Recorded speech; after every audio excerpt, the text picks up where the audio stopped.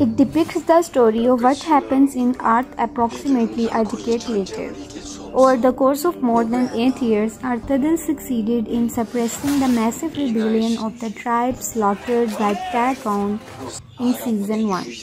And the Argos finally achieved the reunification of 30 clans after 200 years under the leadership of Eunseom.